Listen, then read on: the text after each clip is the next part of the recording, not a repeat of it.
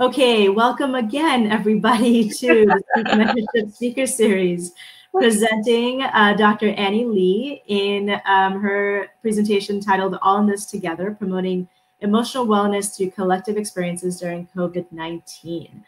Um, Annie Li is a child and adolescent psychiatrist practicing in NYC. She is currently on faculty at New York Presbyterian Hospital, Weill Cornell Medical Center, and is the chief of the Pediatric Emergency Psychiatry Service. In July, she will be transitioning to her new role as a medical director of the Children Comprehensive Emergency Psychiatry Program at Bellevue Hospital. Thank you again for everyone's patience. Dr. Annie Li, please take it away. Well, thank you. Um, as you can see, we live in such unprecedented times that no matter how much we prepare, we cannot anticipate what the current present moment is going to be like. And in that moment of intense stress, I would imagine, um, of and, and frustration potentially, now more than ever, we really need to talk about how to manage ourselves and really take care of ourselves um, uh, in this in this unprecedented time, and really kind of checking and making sure that you know emotionally and mentally we're doing okay. Um, and so we're going to be doing a little bit of reflection.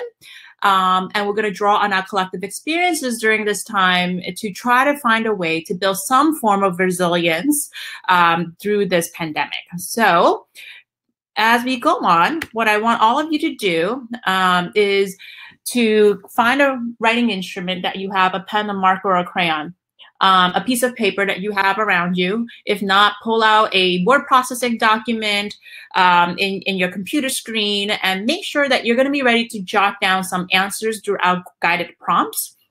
And we're going to be kind of playing a little game of Mad Lib. And at the end of the day, um, at the end of this hour, um, I want you guys to be able to walk away with something tangible. Okay. So we're going to be creating our own COVID 19 narrative. Okay. We're going to be um, thinking and reflecting about identifying who we are, the hats that we wear. Um, we're going to name the emotions that we're feeling. We're going to also list all the responsibilities that we are actually um, participating in in a daily life, in a daily day to day activity. And then we're going to think about how things are going to be like for us in the future. Um, and through that, we're going to create a story that hopefully you will be able to share um, with others around you um, and, and, and um, you know, create a sense of a time capsule, so to say. So without further ado, let's begin to do that. Prompt one is becoming aware of who we are. And by the way, I'm going to be doing this exercise with all of you um, and hopefully you will be able to learn about my narrative a little bit. Um, and it'll be kind of like an example that you guys can kind of also um, copy a little bit. So this is how I answered this prompt. So, first of all, I'm a child and adolescent psychiatrist.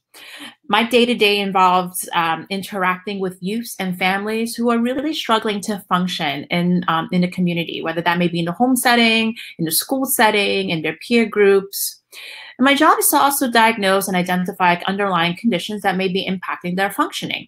Sometimes that could be a depression, a depressive episode. Sometimes it could be anxiety. Sometimes it could be just, you know, um, attention issues, um, hyperactivity issues, or sometimes it can be even more rooted from earlier on in childhood in conditions like autism um, or other uh, other learning disorders as well.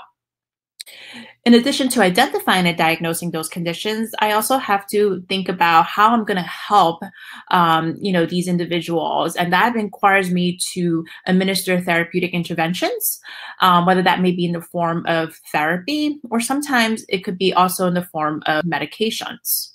Now, in my particular uh, clinical setting, I um, see patients in the emergency room.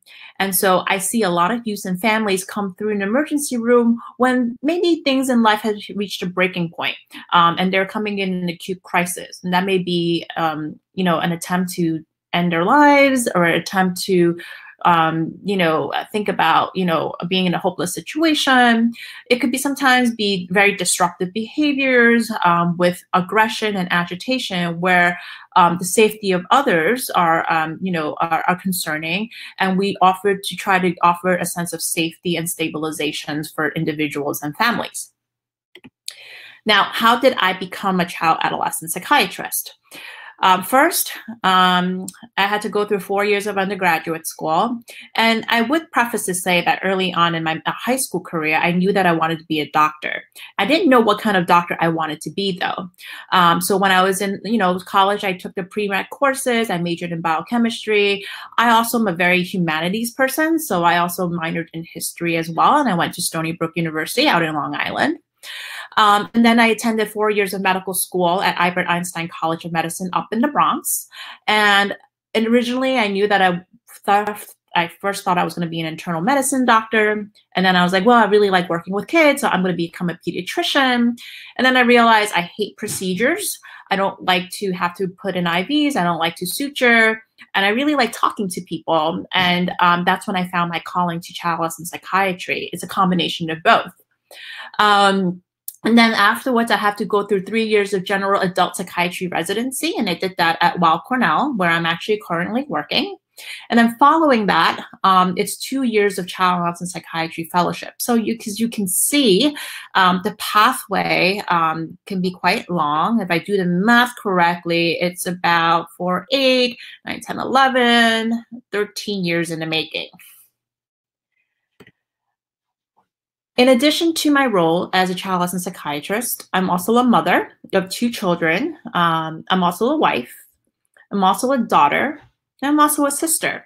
And I imagine that all of you are probably wearing some same hats, being a daughter, um, being a sister uh, to someone, um, being a friend to someone.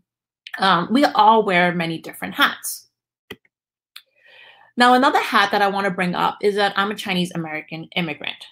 And I think that, you know, COVID 19 has made me become more aware of my identity, in part because of the um, sense of growing uh, xenophobia and some of the concerns about hate crimes and um, racist remarks, um, which I am very mindful of. Um, and that, you know, it's something that has impacted me um, individually. So I was originally born in Hong Kong. Um, and I came to this country with my family at around six years of age. And this is a picture of the family kind of at the airport, uh, bidding us a final farewell. Um, you know, part of the reasons why my family came um, in the 1980s was because of um, the Chinese takeover um, from the British colony of Hong Kong to to to a China turnover in 1997, and um, my grandmother had a lot of concerns about what that might look like. So came here, and my family settled in the southern part of Brooklyn, and this is us growing up then. And I attended um, public schools all the way. Um, I went to Mark Twain School for the Gifted and Talented for middle school, and I eventually went into uh, Brooklyn Technical High School for my high school career. And who I am continues to be a big, strong part of my uh, personal and professional identification. Um, this is a recent picture um, at Chinese New Year. And then to the right is a picture of me at a recent national meeting. Um, and it was for uh, international graduates, and I found my flag, and I was like, I gotta take a picture of that. So hopefully some of you may have had a chance to write in your prompts a little bit of who you are and um, you know what that may be. And then with prompt number two, I want you to fill out the blank. With COVID 19, I have been feeling. I'm pausing a little bit because I want you guys to think about this and jot it down. And then I'm going to share with you what I wrote down in my response to this prompt. So, for me, I have been feeling many different things.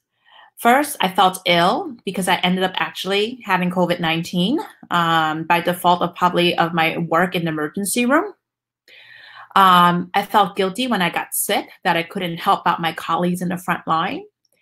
I was scared because I was worried about um, whether I was going to pass it on to my family members, my parents who are of older age, my younger children, um, and, and to my other colleagues. I was also scared whether I was going to walk out in public and be a victim of any racist um, remarks. Um, I felt tired because we were pulling in long hours. There were so many changes taking place in the hospital, and we were constantly trying to keep up with new guidelines, new protocols, new rules. Um, and there are times where things weren't moving fast enough or that all of us were um, you know trying to do something and it wasn't working out and i got easily angry and frustrated. Um, i felt overwhelmed a lot.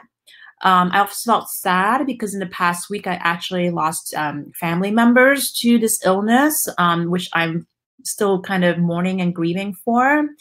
And in the midst of all of that i also felt a lot of love because um, so many people from near and far reached out to me, um, and I'm reminded of how precious, um, you know, my health is and my family is, and so I felt a lot of love, and I was really thankful too you know, sometimes when I hear um, the 7 p.m. Um, applause and claps, it does make me feel thankful that, you know, so many of my colleagues and myself are being kind of, you know, honored um, in a way that, you know, in the past we would have never imagined.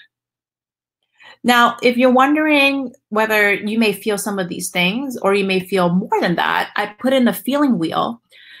Just kind of highlight that there's no one feeling that's right or wrong during this time.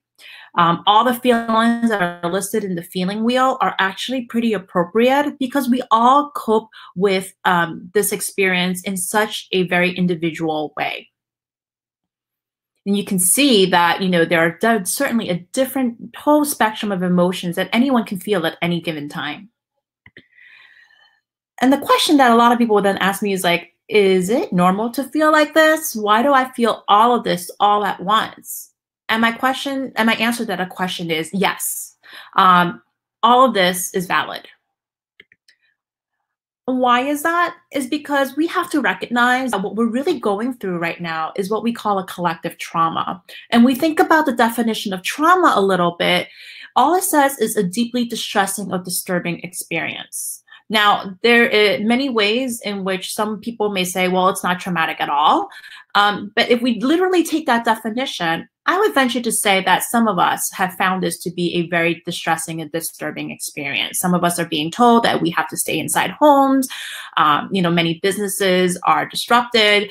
Um, how we learn has been completely transformed. Um, how we interact with people have been completely transformed. So there is an element of disruption um, that has made this in, in, a way that I think there is. A, a, we have to recognize and use that word in, in a very honorable way to say that this is pretty traumatic. And what happens to our bodies and our physio physiological response when we are interfacing with a traumatic event? So I put this in. I don't know if some of you guys have taken biology in any way, but this is the hypothalamic pituitary axis. And it's something that is like um, a little bit of a primer for me to review that this is happening in your body, um, whether you are recognizing it or not, it's a very visceral autonomic response. So anytime we do experience any types of stress, the brain um, secretes a hormone, you know, that then sends down a series of messengers down to these little adrenal glands on that sits on top of our kidneys, and the adrenal gland secretes cortisol. Now, we all talk about like, oh, the adrenaline rush or cortisol, right? Well, cortisol is our stress response. And it amplifies um, a lot of our physiological reaction. Many of you guys have also heard about the fight or flight. And this is exactly what cortisol does. It prepares us in times of stressful events, right? To come up with an appropriate response. Are we going to fight this, this trigger, right? Or are we going to run and flight away from it? Um, some people have risen to the occasion and be like, you know what, I'm going to step up, I'm going to fight. Um, but some people may actually find themselves really shutting down and, and running and trying to avoid that stress altogether. And every one of us responds to it very differently. So, what happens to our body when we undergo through this whole physiological change? Well, you can see that from the top down, right, things starts to happen. It could be a headache that we start feeling, a change in how we focus, um, you know, how we eat, um, how we concentrate, how we remember things, and that sometimes can heighten our arousal in a way that maybe affect also the way we sleep. Um, some of us may start developing hives, rash, or maybe a, a, a you know an acne episode um, in our faces. Some of us may feel that sensation in our muscles. There'll be more tension. Um, and some of us may feel like our heart, there's this chance of heaviness, or that we may feel like our heart's like jumping out of our chest or having these heart palpitations.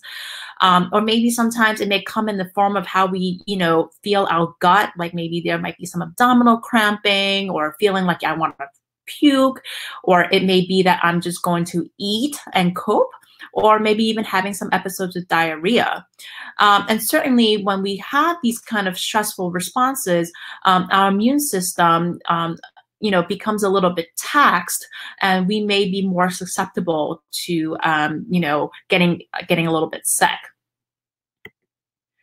so in light of all of that knowing a little bit now about how our body right is responding to all of these stresses all of these disruptions all of these changes in our lives i want you guys to think about what have you all been doing during this time now i've been staying at home right? Sometimes, but there are still days I still have to go into the hospital.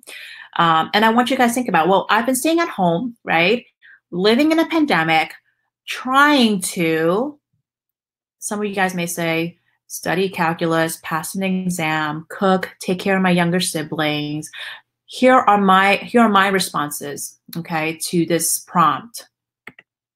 So, what are my responsibilities? Um, so I still work, and these are some of my colleagues in the emergency room. Um, I also set up a telepsychiatry service for the ER, and so that I can see some patients at home um, remotely on certain days of the week. And then on certain other days, um, I go into the hospital and I'm donning on my full PPE with my goggles and my mask to be able to see patients. What are my other responsibilities? Um, I'm a parent, right? So I have to care for my children and also engage them in remote learning. Um, this is cute. Um, I also have to clean and cook. Um, but I'm trying to delegate and have some some of that be done by the teamwork as a family member right? And you know, there's a slogan saying that you know the best way to do this is to try to keep a schedule, and sometimes it's just impossible, and I can barely keep it up.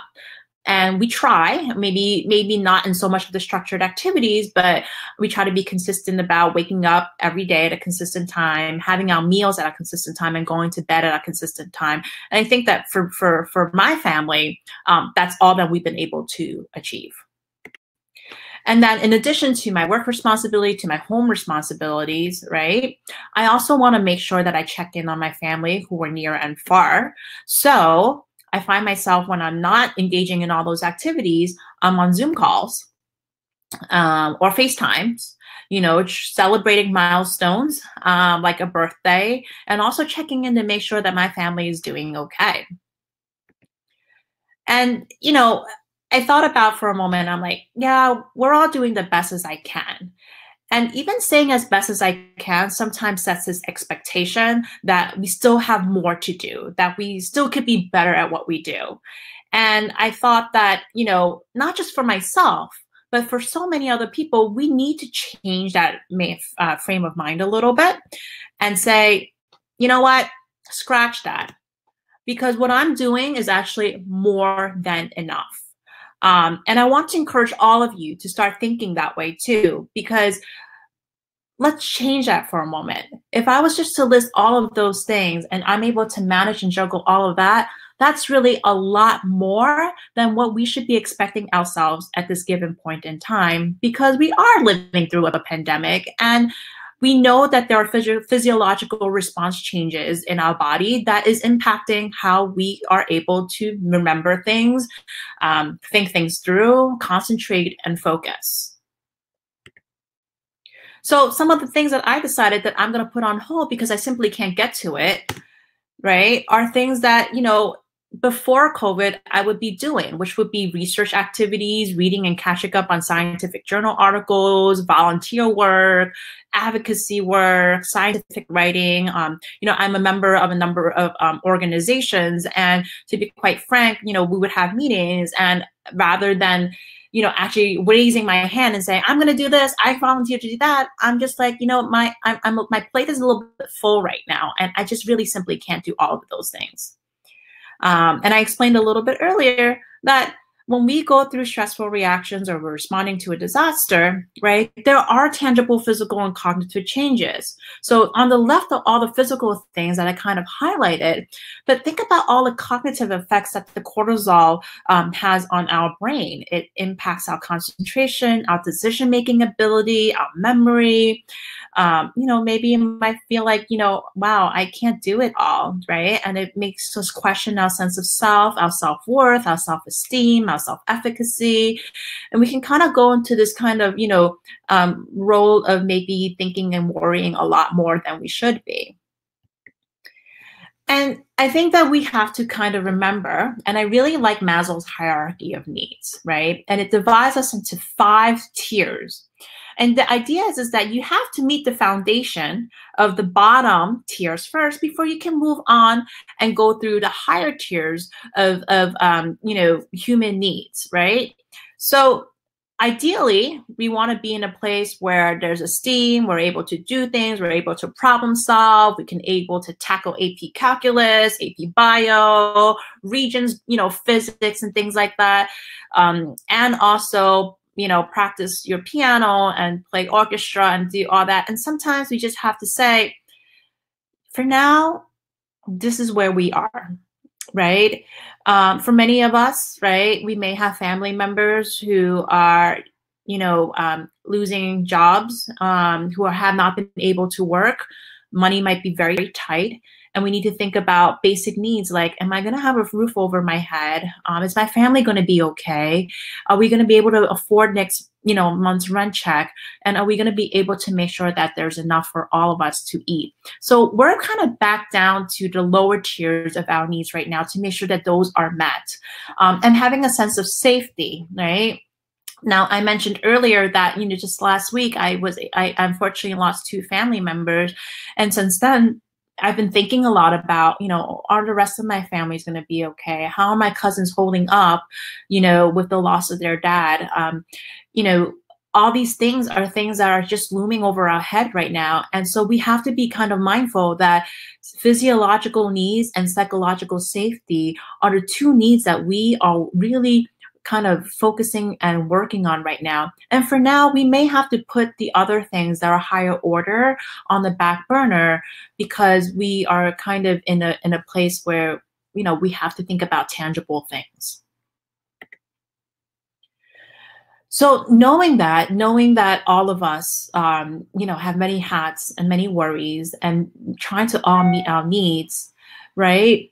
We also want to think about what our future holds. Because we know that this pandemic you know um, just as quickly as it comes it may and it may not be as quickly as it leaves right? It's also going to be not forever right? We're going to eventually find you know some some intervention that will allow us to be able to manage and control um, you know the virus in a way that is different from how we're managing it now and I think that it's important for us to think about, you know, a little bit of a little bit of hope, right? And what we may hope for when this pandemic comes through.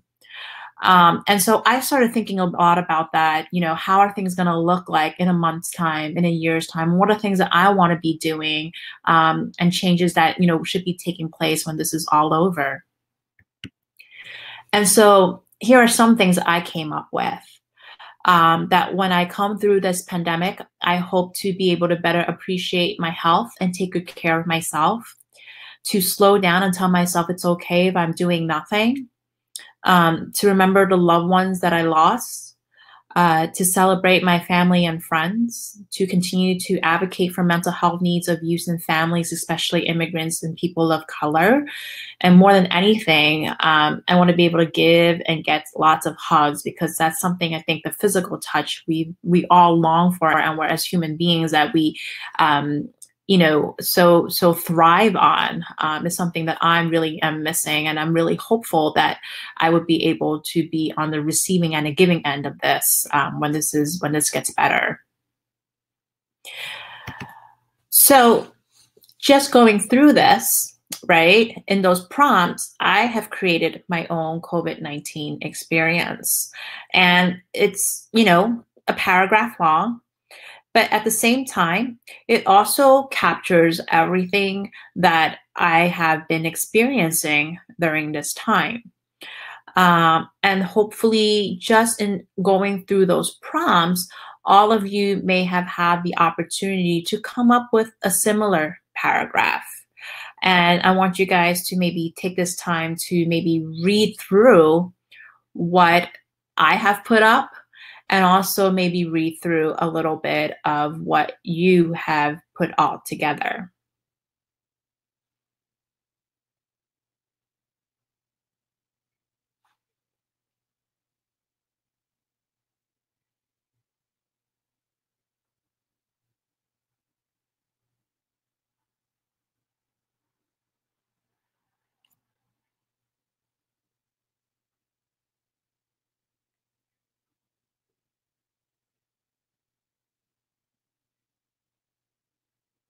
Okay. So, as I said, I hope that you had a chance to read it out loud to yourself. And more importantly, when their moment comes, that you may be able to read it out loud to others. And maybe even just to say, and you know what, I'm going to post this up on social media. And I actually might find myself doing that after this talk is over.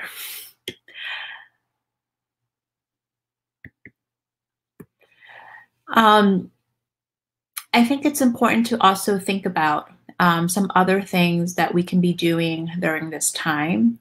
Um, I think that it's important to create a sense of meaning in what we're doing and pause for a little bit. Um, but these are things that I always advise um, many people who are going through intense stressors in the crisis um, to really do when they leave the emergency room. And I think it's important that we make sure that we can identify three people that you can count on to reach out to. And there's actually an app called My Three. Um, it's actually like a, a, lingo. It says My Three. Um, and these are the three people that you know that you can really open up to, people you know who won't judge you, and people who accept you for who you are, and preferably, um, if you can put one adult in there, that would be awesome. Because I also know that chances are you may just put three friends. Um, but having an adult in one of those three, whether that may be your parent or an uncle, a teacher, um, you know, someone from church, someone from temple, um, someone that you know that you can count on and be there for you in the ways that I just described is immensely helpful. And even that could be a mentor too. Um, fresh air. Um, I know that staying at home is an edict and an order. Um, at the same time, I think um, the governor has done a good job in making sure that people are not restricted from going outside. Um, even if you can go once a day and make sure that you maintain social distancing, so six feet apart. If there is a path, a park, you just walk around the block, that would be helpful to be able to reset because there's something to be said about confinement. Um, and it can be very, um, stressful for for an individual and for the physical health as well so even if you just go out take a walk for 15 minutes that will be really helpful um, to to to kind of you know uplift your spirits when things really get down and then every day I do this practice where I really try to find something, um, as trivial as it may be, to try to be thankful for. It could be something small. It could just be something like, you know, I'm really thankful that um, I got to help a patient today, or I'm really thankful that I recovered from COVID, or I'm really thankful that um, my toast didn't get burnt today. You know, it can be something really small, but having something to be thankful for is really grounded because that helps us to see that in the midst of all the stress, in the midst of all the not so good things that we're hearing, there is something small, right, that we can be blessed for and we can be, you know, grateful for. So these are things that I try to do, um, maybe not on a daily basis, but definitely throughout the week. Um, I try to do and try to cover all of those three bases. Now, I also work in an emergency room, and sometimes the stress does get the better of me. And one of the things that I have used, which has been tremendously helpful, is actually what I call box breathing. And there's an actual scientific basis to it because it really helps to reset our parasympathetic system response. And it's actually what Navy SEALs use um, during times of their crises. Um, and if some of you may be doing yoga, it actually may be called the Sama Vritti Pranayama pranayama. Um, and what you do is, is that you inhale for four seconds. And as you inhale, right, the belly goes out, you push the belly out and you hold it for four seconds. And then you exhale and your belly comes back in for four seconds. And then you hold before you take your next inhale. Uh, we can even practice doing that as we speak. So I'm going to take an inhale.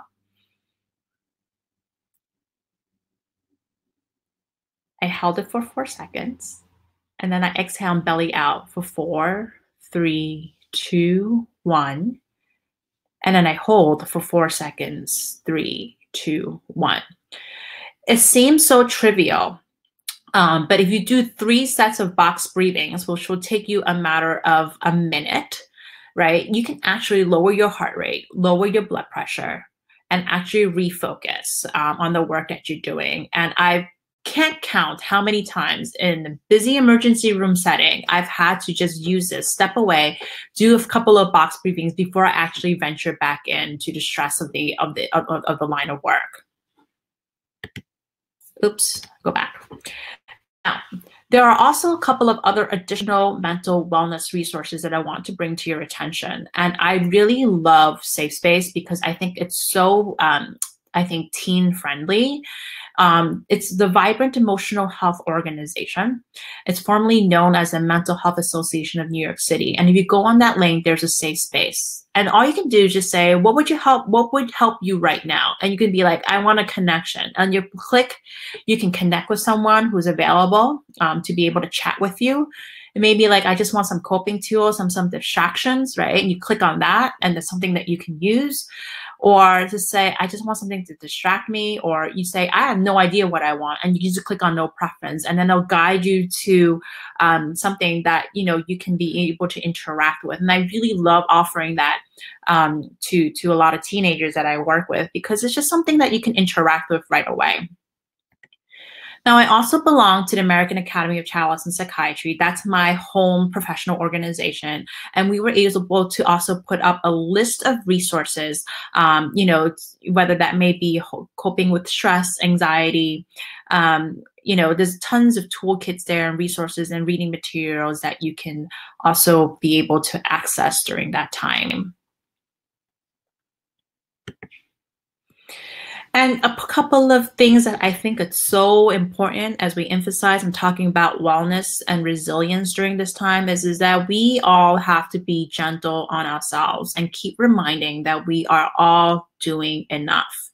And you know that, you know, in different roles, sometimes parents would still put pressures on us saying, you know, you still got to do all your coursework, you know, you still got to graduate, you still got to get the grades that you need to get into the colleges that you want. And just remember that you're doing enough. I mean, there's a reason why the mayor changed all the grading policies for a moment because we recognize that how things used to be and how things are now are not the same. And every one of us are managing differently. Um, teachers are working in really uncharted territories right now. I mean, they went from having to, you know, construct lessons plans and teaching plans, you know, the way they've done it for years and years. And then in a matter of days and weeks are told, here's a virtual platform plan your lessons plan that way and I, I i mean having some having said so that i had to you know, in years of doing a, a way of seeing patients, I had literally four days to come up to a telepsychiatry platform. It was so stressful and so overwhelming working with IT, setting it up, making sure that it works, in servicing all the doctors around to make sure that they knew how to use the platform um, and then actually utilizing it and seeing patient. It was such a novel experience for me. I think about how stressful it was for the first few weeks, and it's still even stressful for me right now um, because it's still so new. Um, and yet, all I can say is that you know I'm doing enough, and you know this this this is this is this is better than than no care at all. So I would just encourage all of you to be gentle, to be patient on yourself, to be patient on others, practice love and kindness. Um, you know, we're all trying to find new ways of doing something. And every time there's something new, there's always change. And change is anxiety provoking. And that's why we're we're human beings of creatures of comfort. We like how things used to be. Um, and this has really been a a transformative experience for all of us. Um, and we're all just doing enough. Um, with crisis, also, I remember comes opportunity, whether that may be for growth, for learning, for understanding, and for appreciation. Because of all of this, we have found new ways of doing something. We're all learning, we're all growing. And some of these things are good, they're so great, they might be here to stay, and some may not be. And that's okay too, because we're all learning from all of this. And just remember that we're all in this together. We truly are. None of us are not impacted by COVID 19.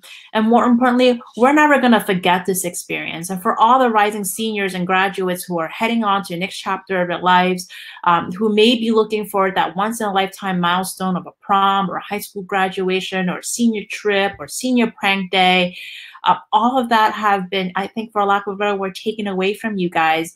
Um, and you're never going to forget that. Um, and I know I will never forget this experience also.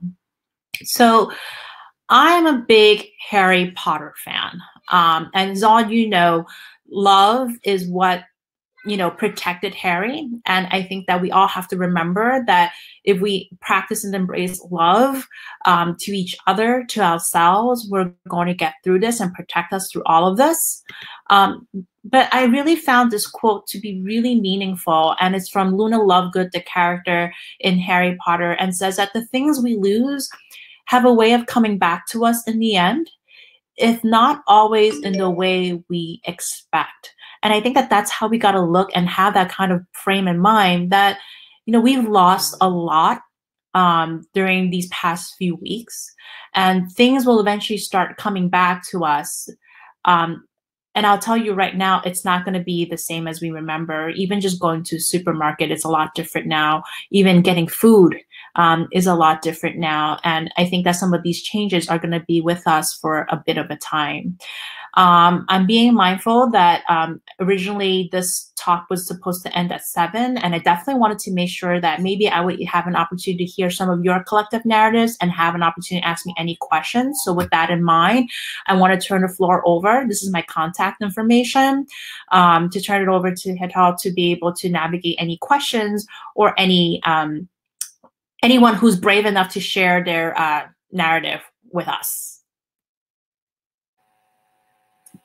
Thank you for that. That was wonderful. And yes, we do have um, Soiree, who is a Speak mentee. and She did share her narrative. Um, if you don't mind, I'll actually read that out loud. She dropped it in the chat. It's I am a daughter and sister. And with COVID 19, I've been feeling tired, as well as thankful that my parents have jobs to support our family. Exactly. Well, thank you, Story, for sharing that. I'm curious to know whether anyone may be also willing to share what they've written too. If there's anyone else that wants to drop it in the chat, for sure, please do. Um, and I actually want to ask on behalf of some of what I know our students are dealing with is a lot of um, a lot of different resources being shared with them and mm-hmm. a lot of expectations that they're having to meet right now um, while going through a transition. So, if you were to speak to some of our educators who may be watching, um, what would you say to them just in terms of either you know maybe lightening the load or just uh, in terms of making sure that assignments have more of a flexible deliver, delivery timeline what would you say to them and then also what, what might you say maybe in that same response to some of the students who feel that um, there is that conflict between them and the educators because they think that the educators are putting too much on them Right. And I think that that's where I have to draw back to one of the slides that I had. Let me just go back. Um, let me. So I, I, I really want to emphasize that, you know, with crisis comes opportunity for growth, learning, understanding, and appreciation. Because um, I think that, as I said earlier, that we as humans are such creatures of patterns creatures of comfort and creatures of habits and that you know when things can get really overwhelming sometimes we respond by actually wanting to have more sense of control and one of the things that i knew as a professional is is that you know i still wanted to have an element of control about how things are being done in emergency room um, and you know i had to be gentle on myself and I had to be gentle on others. Um, and to re- recognize that in order for me to adapt, I have to have flexibility. So that may be flexibility in terms of, um, you know, deadlines for assignments um, and, and being mindful and recognizing that we're all going through different um, um, stressors. Um, so, example, personal experience. Last week, I lost two loved ones, um, COVID 19 related and I was simply not able to perform all my work at hand.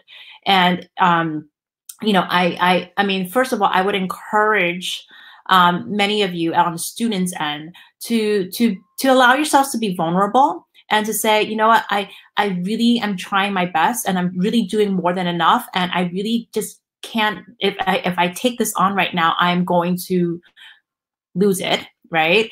And be a little bit um, go allow yourself to be a little vulnerable and ask for help. And and by help, maybe emailing your educators and say, you know, I I'm doing, you know, a lot, and this is one thing that I think I cannot meet this week. Um, is there a way for me to ask for an extension?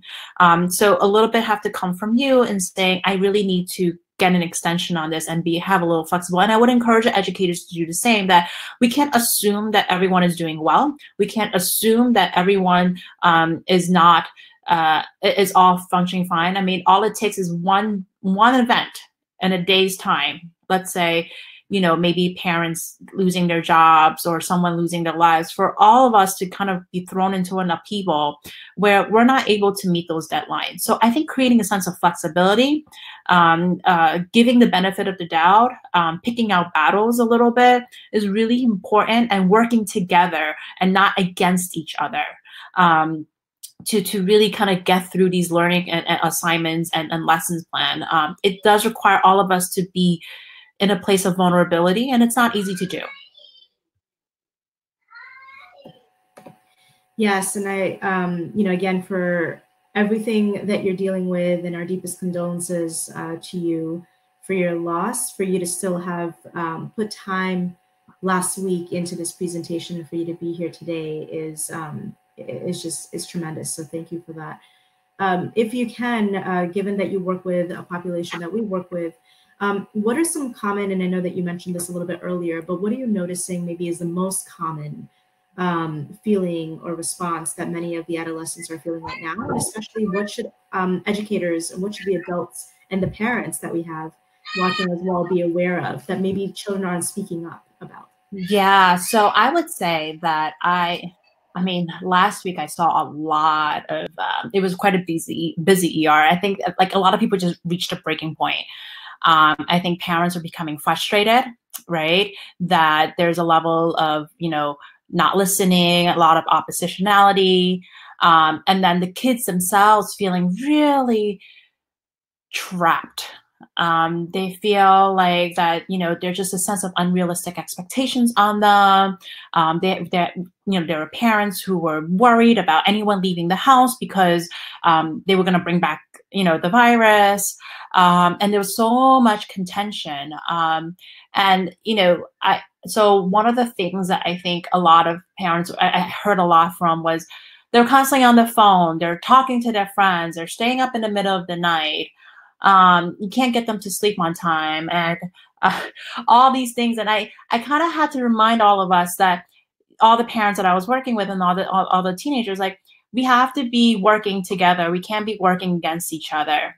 Um, so I think one of the teenagers, like my mom took my skateboard away. She said that I can't go out and skateboard anymore. And that's my coping mechanism. And if I don't have that, um, then I'm I'm gonna feel, you know, really trapped. And that's where I do things that I don't want to do. So it was able to talk to the mom and said, you know, now is the time maybe not to do this all or nothing thing, right? Now is not the time for us to say yes, all skateboard and no skateboard. Now is the time to be like, okay, you can use the skateboard in a responsible way, right? Make sure you wear your helmet, make sure you wear a mask, go out in daylight, skateboard for like 30 or 40 minutes and come back. And then, you know, make sure you wash your hands, make sure that you kind of, you know, change out your clothes and everything like that so that you're still able to get that, you know, um, ability to to to do the things that's going to make you feel a little bit better and not feel trapped and then having a sense of rules to say okay you're not going to you know sneak out at home in the middle of the night wearing you know um, you know uh, dark attire and then skateboard across the city. So that's not going to work either. So it's finding that middle ground um, give and take a little bit it's really important. And, and really remember not to work against each other um, and to work with one another. Yes, I, I mean, I think that's that's definitely one of the most important things is that um, understanding each other is the most important thing right now to be able to get through this together. Um, for for some of those, uh, or maybe if you can speak to when you when you don't even understand yourself or you're not really sure exactly what you're processing. So in terms of you know grief and for people who've lost um, loved ones to COVID, people who haven't been able to say a proper goodbye and they're not exactly sure what how to process what they're feeling um, especially our young people who you know they're still they're still developing and so um, they may not have those tools. What are some techniques so that they know who to go to? Um, and again if we can also speak to sometimes you don't feel comfortable going to your family members um, or your you know cer- certain people. What would you recommend? So that's why i think it's so um, critical to have the my three right?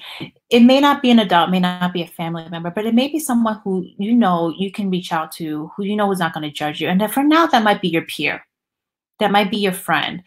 Um, and just know that some of some some some there's always going to be someone there for you and if not that's why i gave you the um, safe space because there's always going to be someone there um, you're never alone and now you all have my contact information and also know that you know um, you can always reach out to um, with grief comes a myriad of emotions, and all of us cope with grief very differently. So I'll tell you my own personal anecdote. Um, I I'm always in crisis mode. So when I work in the ER, when things get really overwhelming, I I know okay, I need to do X and Y and Z, right? And sometimes I am so in X, Y, and Z mode. As of last week, that it wasn't until I had the weekend then that I realized I was finding myself very angry. Um, why am I feeling so angry? Why am I feeling like after I had this like, you know, explosive outburst of screaming and, and wanting to punch a wall, I just broke down crying. Um, and, and then I realized that, you know, I had to honor that emotion that is inside of me. Um, and I couldn't, you know, just sweep it underneath the carpet. And those emotions are really powerful. And I got to think of myself as like an analogy and an imagery that it's almost like as if you are standing on the shore and a big wave just comes right at you right? And it crashes and it hits you hard and you probably fall down on the sand, right? And you're probably like gargling in water because the wave water is so high that, you know, it just, you know, you know, kind of like pulled you under. And then you got to remember that, hey, um, that water and that wave recedes and that has allowed me to cope with all those emotions and allow me to be able to be here with you guys, um, to be able to talk about it and to be able to, um, you know, do this kind of work. Because if I don't allow myself to experience those emotions and as scary and as strong and powerful they may be, um, I would not be able to recover and redraw on my strength to continue on a day to day basis. Yeah, and I think um, I, I, did drop the in the chat. Uh, it was um, the safe space was dropped in the chat, so hopefully everyone can also take a look at that. Uh, I have my three, um, and for me, my three does include a best friend and includes um, parents, which I kind of lump as one. So I have uh, two two parents, uh, and then best friends or close peers. And I think what we really need to remember right now is that when we are going through so much change, when we are going through a lot of grieving and a lot of loss, it's important to um, have that My Three. And it could, I mean, I'm assuming, would you recommend that it could even be a new, brand new My Three? Because um, some of the students are not physically with each other. The educators are not, you know, with their peers or colleagues. So a new My Three might even pop up. Right. Yeah. I mean, my three, you know, used to be all my colleagues I'm constantly at work. I can come up with my three that are like constantly sharing office space. But now my three has been more about, um, you know, um, uh, who would it be? I'm thinking about myself. My three is actually like my sisters, right? Um, not so much my parents anymore, actually, but also um, two good friends of mine. Um, you know, one of them a psychiatrist, you know, and another one who's not a psychiatrist. Um, so my three has evolved in COVID 19 in a very much different way than how it was maybe back in February. Yeah. I mean, for me, it's always important to also have people with varied perspectives. It keeps me grounded. Um, I think people who just kind of promote or are very similar to your thought process might keep you in that same place rather than help you move into a different place. Um, so thank you again, Dr. Li. We really appreciate your time here and um, all of the time and effort that you've put into this presentation. This will be shared on our YouTube, so please uh, feel free to visit our YouTube. And again, thank you everyone for joining. We apologize for the technical difficulties. They happen in a time of virtual connections. So. Well, thank you for having me, and thank you for giving this time to be able to share share what I can share with all of you. Really appreciate it. Thank you so much. Take care, everyone. Stay safe. Stay connected.